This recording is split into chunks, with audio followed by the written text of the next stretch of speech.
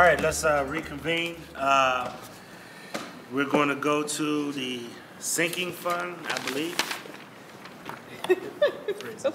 Or are we internal service fund? I think we're at sinking fund. Well, yeah, We didn't do internal service funds. We yet. well, you did- have, you've done them Yeah, we the way. did print shop, we did storeroom, we did telephone exchange. Sinking fund is an internal. Sinking fund is an internal service The, fund. the operations is. So, We have this is internal why I got service, right internal revenue, service. debt service.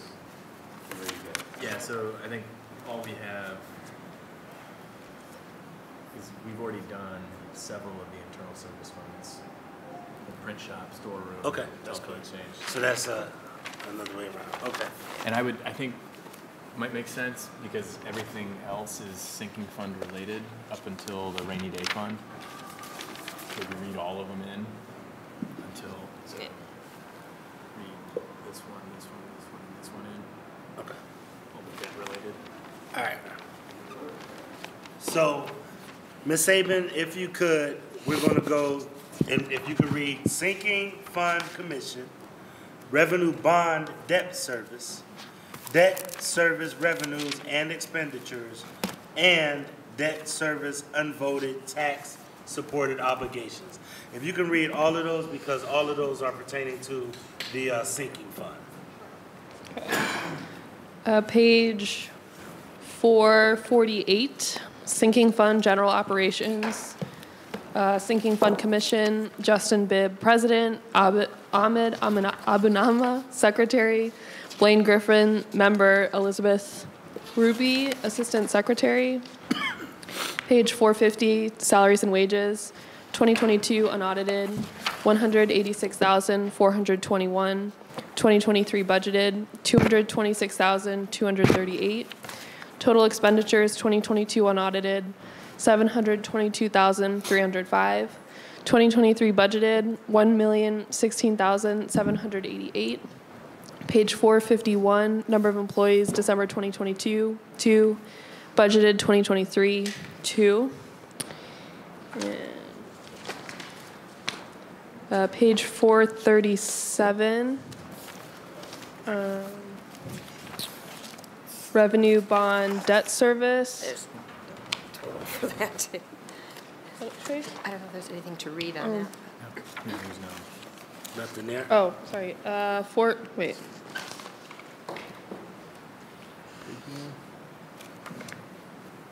Debt service revenues on page four thirty-nine. Sorry, I'm not exactly sure what I'm reading for the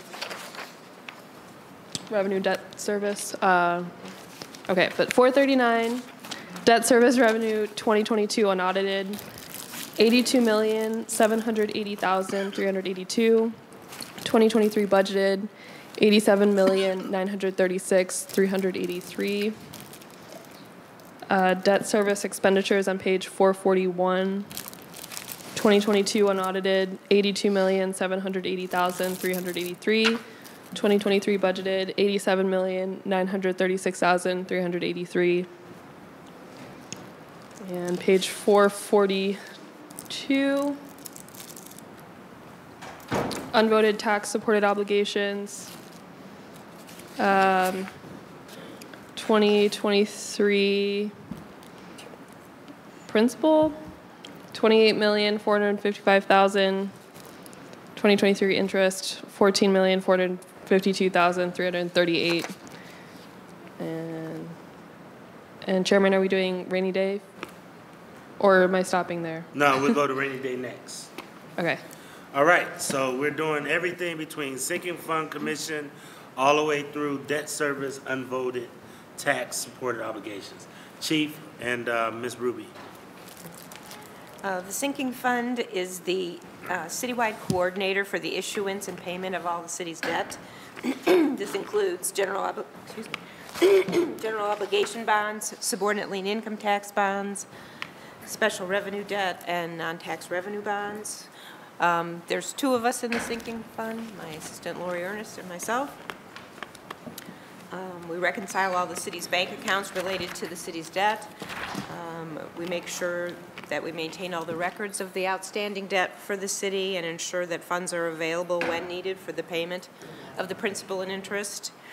And then another area is compliance, which we ensure that the city complies with all the covenants that are in the general bond ordinance, the sinking fund ordinance, and in the indentures for the various enterprise funds. Uh, We also coordinate the submission of continuing disclosure information pursuant to the city's continuing disclosure agreements in accordance with the SEC Rule 15C212.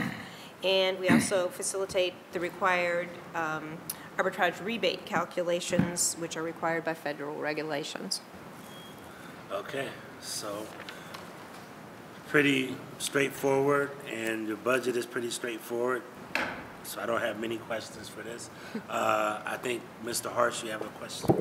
Yeah, um, through the chair to, I'm sorry, uh, Ms. Ruby? Secretary Ruby. Um, So I, I'm also still trying to track down the, the money that was raised for the, um, the police headquarters. Is that in the bond sales that are here on, I mean, on page 437 seems to be the uh, enterprise fund bonds. Um, So where would we see the bond sales for the, uh, these headquarters? Chairman, to the councilman, the, the bond sales um, for the headquarters were out of subordinate lien income tax bonds, of which we have an- a multitude of them. Um, Page uh, 440 has the debt service that's due this year, at the bottom of that page. Um, The debt service that is due on subordinate lien income tax bonds, which is partially the police headquarters and all the other years of subordinate lien debt that we have issued. Okay, at the bottom of page 440 and top of 441, subordinate lien Yeah. tax bonds? Okay, so that's the debt service. Right. Um, And does your department, through the chair, collect the, the, the bond sales revenue as well, or just the, the debt service on, do you just deal with the debt service on it? I'm sorry, I'm not a financier, and this gets complicated for, for laymen like me, but my understanding is that you sort of administer the bonds, the, what comes in and what goes out, and the sinking fund is what we pay uh, back that we owe. Um, Yeah, That, the bond proceeds that came in on each of the issuances are in capital projects In ca- and a project set up for that purpose. Yeah, so through the, through the chair, so when the, you know, in advance of each sale of bonds, there are a series of ordinances uh, adopted by council uh, authorizing, A, the sale of the bonds and then the projects that'll, that will be paid for with the proceeds of that sale. okay, when, once the bonds uh, are sold, uh, the capital uh, budget manager in finance, uh, Tina Magistro, she sets up individual project accounts for each capital project that is being uh, paid for with the proceeds of the debt. And that money is uh, allocated to each project, and then she manages the budget of all Okay. of that work, um, keeping track of what's been spent, what hasn't been spent, um, which is helpful on the sinking fund side because as part of our uh, federal compliance obligations, their obligations to spend the proceeds within a certain amount of time. okay. All right, thank you. I will continue to struggle to understand the pots of money and the allocated funds um, in the city because um, it's, it's something I would like to fully wrap my head around, but I'm getting closer. Um, last thing then, just an update for our policy research team. Um, could we please look into public records request PO 26526 110921, filed January of last year, it's over a year old, filed by Mark Ackerman from WEWS TV, uh, requesting a department of, uh, a list of all employees and department phone numbers, including city-issued cell phones, as well as uh, public request P 000911 011-023, filed by Scott Noll from WEWS, um, January 10th of this year, uh, regarding homicide data in the city.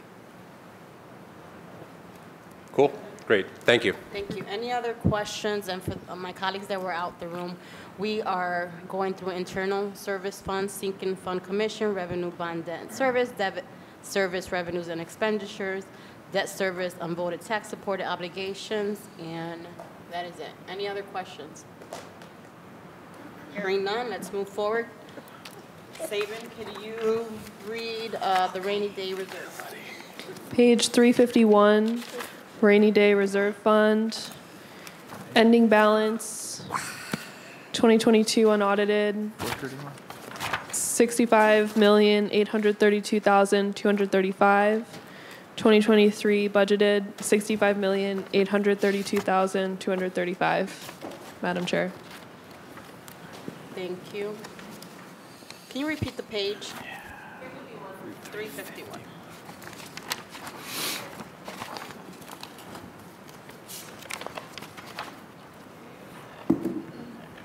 Chief? Uh, Through the chair of the council, happy to answer any questions. Uh, I think as we've discussed uh, on prior days, we are not anticipating uh, in the, in the mayor's estimate, any deposit into the rainy day fund. We did make a deposit of $20 million uh, in 2022. Any questions? Councilwoman Spencer? I know, thank you, Madam Chair. I know the CFO has shared this, shared this with us before, but our, our total balance in our rainy day fund, how many months of city operations does that cover through the chairwoman? The, the, through the uh, chair to the council member, the figure that I'd given before was the rainy day fund, the payroll reserve, and our, and our unencumbered cash balance. Um, The rainy day portion of that is uh, approximately 30, uh, 34 days. 34 Is the rainy day portion of our total um, cash picture. And then, uh, can you repeat through the chairwoman the figure for the total cash picture? Uh, it was, I don't know, roughly. I, I, I don't want to. That's okay. Let me follow up. With. I think- no, I thought it have was written just- down in a different notebook. Absolutely. And then do we, and I know this has been said prior in our uh, hearings as well, but is there the, a a target in terms of how, how much we want to be, how many days we want to cover or um, thoughts towards future contributions to the rainy day reserve? Yeah, I, I think uh, through the chair to the councilwoman, in in in an ideal world, uh, we keep the rainy day uh, amount at the maximum that we're allowed under state law. Uh, and then when with, and then thinking about the other funds, we keep the payroll reserve fund sort of in line with our um, with our liability that that that fund is is designed to cover. Uh, but you know certainly acknowledge that those kinds of deposits are they're they're good to haves. Um, you know don't want to uh, crowd out funding for other you know data very very important day to day services that we need to fund um, at the you know to the expense of the these reserve funds. So it, I think it's a bit of a balancing act, and it's kind of when we're able to do it, we do it um, as as best we can. Thank you. And the last question through the chair is, can, can you remind us what is the maximum rainy day balance allowed under state law? Uh, through the chair to the councilwoman, it's uh, 10% of the prior year's uh, general fund revenue um, that we're allowed to keep in that fund. Great. Thank you. Thank you, Madam Chair. Thank you, Councilwoman Spencer. Next up, I have um, Councilman Kazy. Thank you, uh, Chairwoman. Chairwoman to the CFO, we have almost 66 million in our rainy day fund and an additional 90 million in our 27th pay fund. Where, where is that money? Uh, Through the chair to the councilman, it's in our commingled um, deposit, depository account. And by that, what I'm asking for is it sit, it, it just sits in a bank somewhere, correct? Uh, Through the chair, uh, that is correct. We, uh, the treasurer uh, who was here earlier, he and his staff manage that money uh, under state law and the charter. We have very strict limitations as to how we can invest the, the city's deposits. Um, That said, we do have some ability to invest, so we, in the more recent past, we've been investing in Treasury security, U.S. Treasury securities, uh, as a way to generate more revenue for the general fund. And then, Mr. Chairman, to the CFO, that was my second, my second question was that can this money generate additional dollars through interest or reinvesting it or, or whatever? Uh, Through the chair, that, yes, it can, and uh, that uh, interest revenue that it does generate goes into the unencumbered cash balance of the general fund, does not, uh, as we've set it up, does not go back into the payroll reserve or the rainy day fund. And then, is, Ms. Madam Chairwoman, to the CFO, does that happen on a yearly basis, six months, three months? How often, how often do we pull the interest or what we've made off that money out? Yep, uh, through the, through the chair, uh, it depends on how that money is being invested. So um, when we're talking about treasury securities, the, in, the income comes in uh, both at, uh, you know, the periodic interest payment dates under that, that treasury bond. Uh, and then also, you know, there could be moments where we're, uh, if we're selling that security early for whatever reason, there, there might be investment gains that come into the general fund as a result. Um, but typically, we'll see interest income paid on whatever the interest payment date is for that security. So it could be June 30th, it could be September 30th. It, it depends on, on what we have. Okay, and then one last question, Madam Chairwoman, to the CFO. In this book here, does it show anywhere how much the city has made in 2022 in the income from just our rainy day fund or our 27th pay fund, or any other money that we have sitting invested somewhere? Uh, Through the chair, uh, it, it, on page 34, uh, where we have uh, investment income, Okay, uh, it shows all of the investment income of the city. It- It's not broken out by rainy day fund or payroll reserve, but it's Okay. all of the, the income we generate from our investment activities. but the investment income is money that we have sitting somewhere, just sitting, It's- it's working the for interest. us? Yeah, that's right. okay. All right, thank you very much. Thanks, Madam Chairwoman. Thank you, Councilman. Next up, I have Councilman Polensek. Chairperson, and on, um, to follow up on the, again, special revenue funds, under the Cleveland Stadium, uh, did he touch upon that already? Did you touch upon the Cleveland Stadium on page 352? No. Okay, so uh, to the, to the director, again, just uh, explain the the receipts in, expenditures out, and then the, uh, the, the net. Ex- Explain, I'm, I'm trying to understand that better. Uh, Through the chair, uh, the receipts in would be uh, a combination of sin tax revenue and general fund transfers. Okay, And then the expenditures would be a combination of debt service and uh, capital repairs. okay. And then that leaves a deficit of 58,000. That's, that's correct, uh, and that's offset by the beginning balance in the Cleveland Stadium Fund that we had uh, in, uh, at the beginning of the year of $23,496,623. So is, is the, um, the 23 million, that's the remaining balance, and that is to cover debt service? Through the chair, that's correct. Okay. The, um, the beginning balance, uh, the, um, the 3 million, explain the 3 million 970. Oh, um, that is the change in the, in the, that, that is the difference between the 2022 beginning balance and the 2023 beginning balance. Okay. So I'm sorry, we- just, so are we still at the rainy day fund? Go ahead. Is it, are we still in the rainy day fund? No, special revenue fund. We haven't got there yet. Huh, 352. oh. Not, So the- the general fund doesn't have to cover that, do- do we? no, we haven't. Or are we? Oh, yeah, we are, I'm sorry, we are in the rainy Yeah. reserve fund, correct. Special revenue fund. So the, the general fund doesn't have to cover that deficit, do- do we? Uh, Through the chair, the, the general fund is the primary contributor to the Cleveland Stadium Fund. I, I, I understand that. And, and so that, there, that, that deficit Yeah. is simply the spend down of the Okay. beginning balance. So we had asked with, uh, during the budget, and I think it was pre-budget as well, we had asked for the total dollar amount that we had paid uh, so far for the stadium for principal and interest. Did we ever receive that, that figure Yeah. To the staff? Uh, And again, I would make that request again. What we have paid to date on principal and interest on Cleveland uh, Lakefront Stadium. Thank you very much. Thank you. All right, Councilwoman Howse? Okay, I'm just a little confused.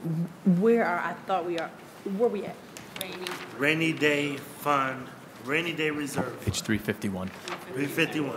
Yeah, okay. So I, I I was confused because, I- so is the special fund with the rainy day fund?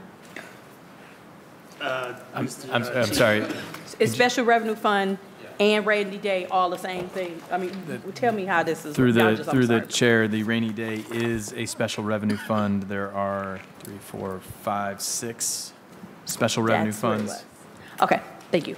Um, so just a, um, through the chair to the chief, where are, um, how many financial institutions, um, do we utilize for, for the holdings of these? this- Chief, Through the chair, I believe we use Key, PNC, and Huntington. So So that's Key Bank, PNC Bank and PNC Huntington Bank, Bank. and Huntington Bank. Okay. I'm gonna ask that because for the community, that's all I need to know. Well, because I, I feel like that's very problematic, and I'm just putting that parallel to what is the true value that the city of Cleveland is getting, specifically when it comes to um, housing. And the other things, it's not the same, but it's the same. They have our money, and according to reports, they're not at least two of the three are not doing right by our people, and so we may need to um, seriously reconsider where we are holding our money and funded. And I know there are, there's more, a deeper conversation, but it's a problem, so thank you for that. Chief, all right. Um, Any other questions regarding rainy day reserve fund? No other questions regarding rainy day reserve fund? We'll move to non-departmental expenses, county auditor deductions, transfers to other funds, and other administrative. Page 346, county auditor deductions. Uh, Total expenditures, 2022 unaudited, 2538686 2023 budgeted, 1150000 Page 347, transfers to other funds. Total expenditures, 2022 unaudited, 382445240 2023 budgeted, 45246462 Page 348, other administrative. Uh, Total expenditures, 2022 unaudited, 21439461 2023 budgeted, 21995334 Mr. Chairman. Okay, thank you. Chief? Th- Through the chair, happy to answer any questions. So you guys process our membership to all of these organizations? Through the, to the, to the chair, that is correct. What about the Greater Cleveland Film Commission? Is that not in here, or is that not in other professional dues? That's, is that something we just fund each year out of economic development? Uh, Through the, through the chair, we'd have to look into that. Th- This is certainly not the exhaustive list of memberships that the city has. These are, these are ones that kind of span beyond a single department. I know that ED and other uh, departments do also have appropriations for certain uh, organizations, so uh, we, we we can look into that.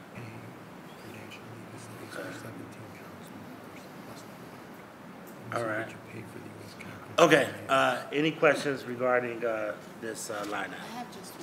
Councilwoman Santana, Councilwoman Howse. Um, Thank you, Mr. Chair. Just quickly, on page 346, right? Board of Election expense, can you just explain that? Yes, uh, so through the chair to the councilwoman, in 2022, we were billed for the costs of the 2021 elections, uh, which, as we all, everyone knows, were citywide. Uh, And so that, that's why the 2022 line item is much higher than what we're seeing uh, as projected for 2023. Got it. Thank you. And just on- on on that that point- point, real quick, I know I got a couple of points. So we anticipate possibly going to the ballot this year for a couple of things. So is that budgeted into this? Uh, I think uh, Mr. Cordick can address that. Through the, uh, to the chairman, we anticipate 150,000. Um, Now, how this, uh, how the- how this typically works is if, if there are elections and there are multiple different um, ballot initiatives on the election, so if, uh, if there's a state initiative or a county initiative, then we, we would pay a third of, of that total cost. So unless there is a a ballot initiative where there's just a City of Cleveland ballot initiative on, then we would pay full freight for that. However, if there are other municipalities, other government agencies, then we would split that cost. What if it's a citizen-led initiative? We're still responsible for paying it if it's, we'll pay full freight if it's, uh, the city of Cleveland. To the chairman, yes, you're correct.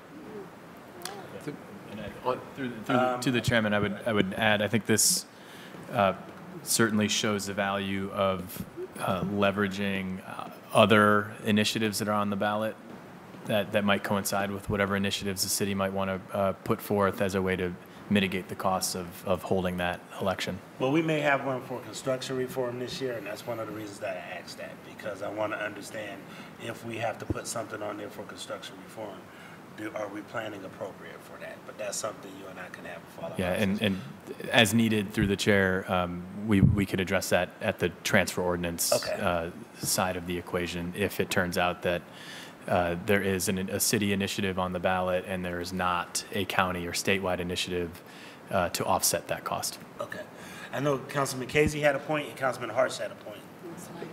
And it's like, so I got three points. Uh, Just on, on that point, Mr. Chairman, we, we know that we've got at least one election in one ward, right, coming up this year. Is that where the 150,000 is guesstimated for? So can you, t- Mr. Chairman, to the CFO, then can you tell us what it would cost to just do the cost of one election in one ward? Through the, uh, through the chair to the councilman, I think that's the, the 150 that we're estimating uh, here is what we expect would cover the costs of the special election that will be needed this year. Um, Beyond that, it's hard to, I think that's a little more difficult if we go citywide to project out because the, the 2022 amount was our share of uh, what, of an election that included other initiatives on the, on the ballot as, in addition to um, citywide. Okay, thank you. All right, Councilman Harsh and then Councilman Slife on that. And, and through the chair on the same subject, so we have municipal race for judges' seats this year. Those are citywide and only citywide. Um, Do the courts pay, I heard somebody say a third, like we pay a third on uh, shared, like, do the courts pay for their own elections or do we pay for the courts' elections too? Through the chair to the councilman, I think we'll have, I'll have to look into that. I do believe uh, the judges are also county officials, and so when those items are on the ballot, um, and there's, the ju- judges, for example, judges' salaries are, are split between the city and, and the county. So if you look in the book, uh, the judge salaries are like thirty-four thousand dollars, thirty-seven thousand dollars, but that's not their For salary. municipal judges as well? Yes, for Yeah. muni Okay. judges as well. Um, So, and, and to be clear, the 2022 unaudited amount of 1.1 million, that was for the 2021 election, correct? Because there was nothing in there for 2021. Through the chair, that's correct. So if we divide 1.167 by 17, it comes out to about 68,000 per ward, not 150, but, um, you know, uh, nickels and dimes later, I suppose. Uh, I just want to be clear that it's fascinating, and it should be fascinating to everybody that we, as municipalities, pay for elections. It's not a service of the state. It's something we pay for. All right, thank you. Slife on that point. we read in other funds or are we just on our Uh, We read all of, we read all of them. all three. I I had a question, it's not a point, it's a, que- Uh, so I can come back on the list if you Okay, me we'll make sure that we have you on the list, because this was pertaining to board elections. All right?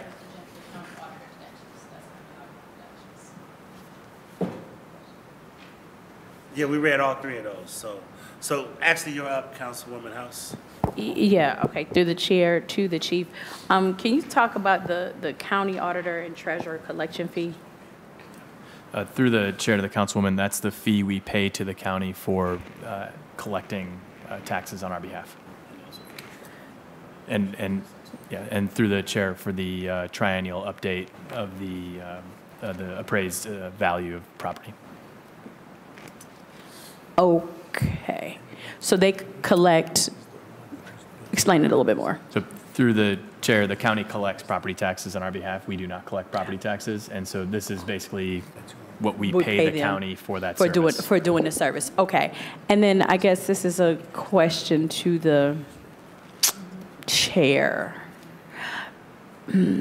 So because I just had a recent issue of, of um, um, a resident whose property, basically the tax lien was sold off, but they still live in the house. And so I'm trying to get a, I know this is a county issue, but I guess trying to get clarification on what are some best practices of that. You see what I'm saying? Because I just feel like it's rough. Do we, do we, A, is that an issue that this body has taken up prior to or before, or? I can't tell you if that in recent history, if it's been something. I know that Councilman Brancatelli, when he was here, had some of these kind of hearings that used to deal with some of this. Okay. But I can't tell you, like, I, I just didn't know, just in recently or whatever, if there was something new. Okay, all right, thank you for that. all right, thank you. Councilman Charles Slife. Uh, So on 347, uh, the transfer to street construction, uh, $8.5 million estimating, but then on page 358, the transfer in under street repair is 11 million. So can we just clarify if I, and if I missed something during that discussion, I apologize. Through the chair to the councilman, there are other identifiable funds that we're going to use to make that difference up. So the general fund's contribution is 8.4 million, and whether we use additional bond funding or um, the strategic priority funds, then that's going to cover the 11 million dollars that you see in streets budget. Okay, and then just to follow up, uh, just, I th- I think I know the answer, but just to be sure, it looks as if that's a new strategy. Historically, that was all general fund for this transfer? Through the chair to the councilman, yeah, historically, it, it always has been funded by the general fund, but we're trying to identify other ways in order to mitigate the general fund's liability for transfers. Okay, uh, uh, briefly, do you uh, could you expand on what those sources are? I, I ask because I know block grant, for example, is, uh, street resurfacing is an eligible use, but that's not, it's not an eligible use in all parts of the city. So I, I want to make sure that we are not hamstringing ourselves uh, by going for an alternate funding source that isn't going to be broadly available. Yeah, through the, through the chair, that's, we certainly don't want to do that. I, my, my expectation is that we'll make up that balance with uh, debt that we issue later in the year. Thank you. All right, any other questions for non-departmental expenses? Councilwoman Howse? Councilwoman Maurer? Oh, sorry, am I up now? Okay, so I was just trying to get on the list. Um, just uh, briefly, I'm so sorry. You have explained this to me multiple times, and I, I, I just want to make sure I really understand it. The capital outlay on page 347, the transfer to other funds, um, the that previously was you know 13 million, 15 million. Then last year it was 6.3. And I realized the thing I understand is that every year we don't budget very much in that category. And then every year we come back and either through the transfer ordinance or in part through reconciliation through the RIT funds, that's where those appear. But can you go over can you go over that one more time and also what is where that money go what's actually spent on when it's transferred to capital projects? Chief? Uh, Through the chair to the, the councilwoman, uh, that's, that's right. So I think oftentimes this transfer is actually dealt with uh, either in the transfer ordinance or the supplemental ordinance. Um, It, you know, usually we're not looking in the mayor's estimate to uh, make uh, significant transfers there. Um, And, and it's for, uh, you know, the kind of capital work that you would expect, right? Streets, um, demolition, uh, things like that, which have been the recipients of uh, transfer and supplemental ordinances in the past when there's been excess cash that was not anticipated. Okay, thank you. Um, and then in terms of the interfund subsidies, um, we've gone over the rainy day fund, uh, the stadium fund, subsidy to street construction. Uh, Council Member Slife just asked about. Um, the transfer to other subclasses, that one has the large allocation from last year that was moving ARPA into its special sub-fund. What are we anticipating is the 6.9 million there for 2023? Through the chair to the director.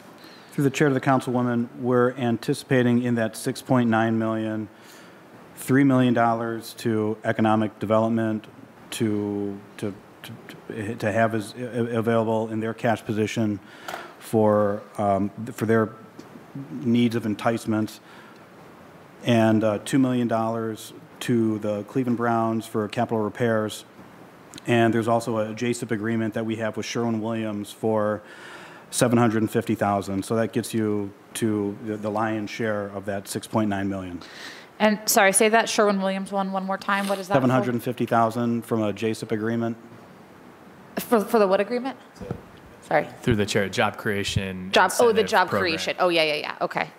Um, And the 5 million was for economic development for incentives or? Uh, yeah, th- uh, through the chair to the councilwoman, it's three million uh, for ED to have for its JSIP, its re- on regular ongoing JSIP The program. JSIP, oh, Yes. yes, and that's the acronym for the Jobs Incentives That's, Program. that's correct, because the way, the way it's presently set up, uh, the, the recipient of the um, incentive actually gets a cash payment from the city for the incentive.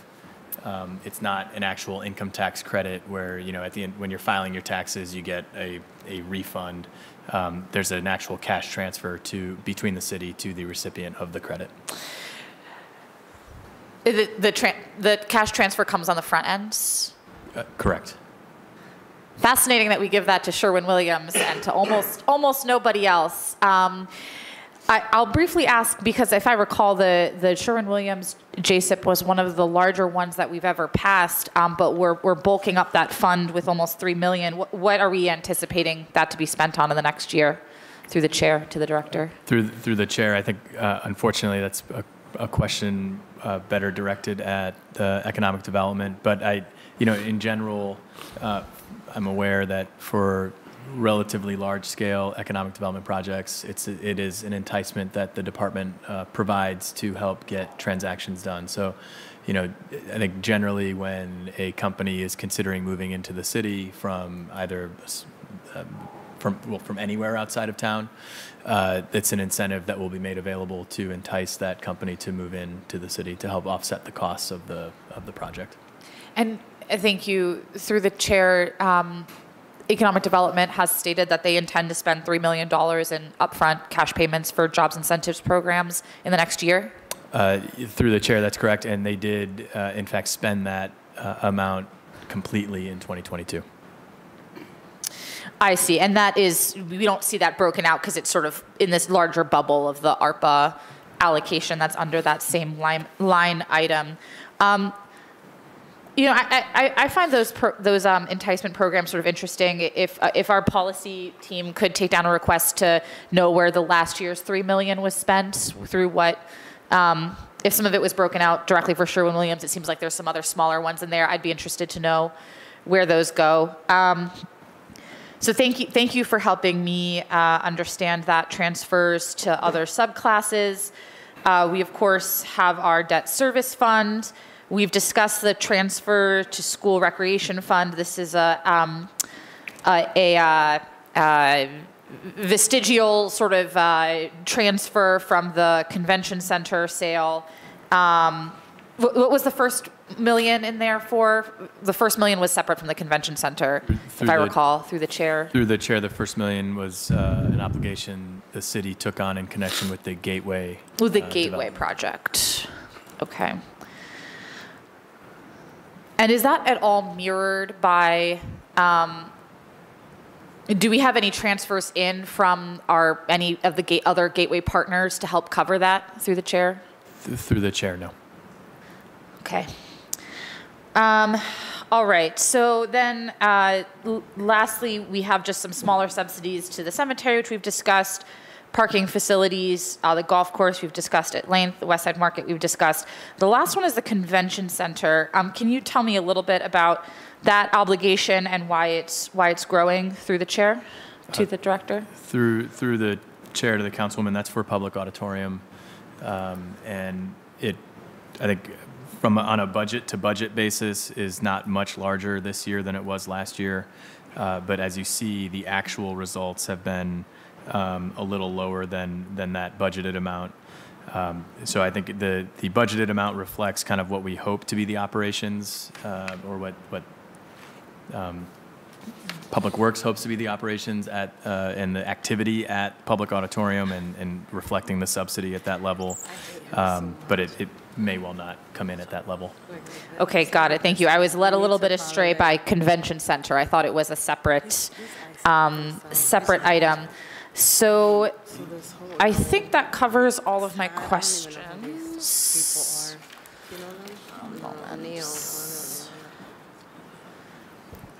Yeah, with that, I yield. Thank you. All right, thank you. Great line of questions, Council Lady. Uh, do we have any more questions regarding the non-departmental expenses? Seeing none, let's move to the anchor leg of the hearing, restricted income tax. Uh, Ms. Saban? Page 351, restricted income tax fund. 2022 unaudited ending balance, 5281356 2023 budgeted, 606356 Mr. Chairman. All right, uh, Chief, any comments? Uh, Through the chair, other, nothing other than, as, just to remind everyone that the restricted income tax is one-ninth, represents one-ninth of the city's overall income tax collections. These funds never hit the general fund uh, and are, are routed directly by CCA uh, to the restricted income tax fund. Okay, just a quick question. The money that we used to put for the age, the council age-friendly home program, is that where the 2,000, is that why the 2022 is at 5.2 million? Just trying to make sure I understand that. It's 5.2 million that we had last year. Uh, Through Where do the- you usually have that at? Where do you usually keep that at? Through the chair, it's my understanding that that, that age-friendly home money was general fund uh, over the years So you and moved not. that out of RIT and put that into general fund? Because that's where we used to get it from. Mr. Gentile? To the chair, to the chair, uh, the first year, I think it was out of restricted, which was several years ago, but the last several years have been out of the general fund. Okay, uh, yeah, sure, one second. So, okay, all right, well, that's a conversation I want to make sure we have because I know that also we used to do the, um, special capital improvements that we used to get, uh, for councilmen or council members in each areas as well that we used to be able to work with, but we'll have that conversation, okay? All right, uh, Councilwoman Spencer. Thanks. I just wanted to, to have a point on that. Um, Is there, is there, what was the thinking behind regarding AFIP, because this is such an important program to all of us, what was the thinking behind not using restricted income tax and, and pulling from general fund for that program? Mr. Gentile? Through the chair to the council person, we, we had some concerns with the eligibility of using RIT for age-friendly. General fund's less restrictive, so we decided, you know, in consultation with the law department, that the better source to make it more flexible would be the general fund. Council Lady? Thank you. Then this is an opportunity to understand what are the restrictions on the restricted income tax fund. We could, Mr. Gentile? Through, through the chair to the, the council person, generally speaking, it, it's, restricted income tax is generally geared towards city-owned property. And that, that's where, you know, the city became a little bit concerned, the law department.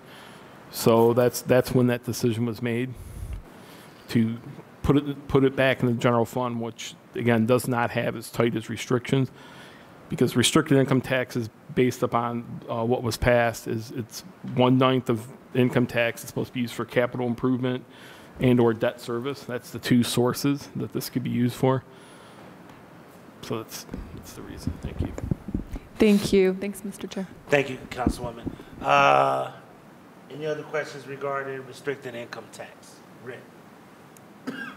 All right, well, seeing no other questions, I believe that this year's 2023 Finance, Diversity, Equity, and Inclusion uh, Committee is adjourned. And I was looking around. Did everybody see me looking around like I'm giving everybody one more chance? You shouldn't have done that. How are you going to proceed, I just- how you're going to proceed? Mr. Chairman, I was just going to wonder how you're going to proceed now with um, a reconciliation, that's all I'm wondering. Okay, so let me um, give some, uh, yeah, thank you guys for, but um, just a couple of things. And- First of all, let's uh, thank uh, the finance director and also Mr. Mr. Gentile. We made it, we made it, we got through. Um, I know y'all thought we were gonna have a couple of Saturdays, Sundays, or midnights, but uh, we found a reason to keep Mr. Jones in Ward One. All right. uh, Okay, so uh, here's what we have is on uh, Monday, we are going to have a caucus. where We'll basically be able to debrief. I do want to share this with, that caucus is going to start at 12, okay? But I want to be clear with everybody, we, um, we, you know, are going to try to stay as close to a structurally balanced uh, budget as possible. Um, What I've asked the actual uh, policy team, which we're going to be talking in a moment, is um, I want to identify areas where we can identify potential cuts first and foremost, if there's areas that we recommend potential cuts. And then after that, recommend where there are areas where we want to see potential um, increases. We're not going to do what we did last year, it would be impossible. Uh, Let's remember, this council told the administration, we wanted them to bring us back a balanced budget um, and a structurally balanced budget. And we're not going to be able to run up another $62 million um, over un- uh, imbalanced, structurally imbalanced budget like we did last year. So keep that in mind as you think through and pour through everything, where there can be cuts, where you would suggest any recommended additions, and then uh, we'll have that conversation along with some recommendations from Guy as well as uh, Joe Titron on Monday in caucus. I also have asked them to give us some doomsday scenarios. What do doomsday scenarios mean? I've asked them to give us how much would it be if we added a certain amount of police officers back into the budget? Uh, just so that you can understand those numbers. How much would it be if we had to try to add age-friendly and where could we potentially do that? And then what if we did that and how that looks, okay? So they're gonna give us some of those scenarios and have some of that prepared for us on, uh, Monday. And then once we go through that caucus process, uh, then, uh, that's when the leadership team and myself will start to, uh, sit down with the administration and figure out how we wanna move forward. I do wanna suggest as well that Councilwoman Maurer and Councilman Harsh have done a significant amount of work on their own to put together some very, very good tracking tools. Um, they've been willing to share it with anybody, and I don't know if they want to speak on those, but both of them have done a, you know, I've been watching them closely, but both of them have done some very good tracking tools that might be helpful to some of you on your own, um, on your own time. Is that for a four-legged or two-legged critters? That's what I want to know. Okay, okay, okay. Coun- Councilwoman Maurer All right, and hold on one second. Councilwoman Maurer. Okay, uh, we're gonna adjourn, so then Okay. we'll get to the next steps, okay? Because this committee meeting is done and finance is done. Hold on one second, all right? So, uh, this committee meeting of finance, diversity, equity, and inclusion is adjourned. Thank you. All right. All right.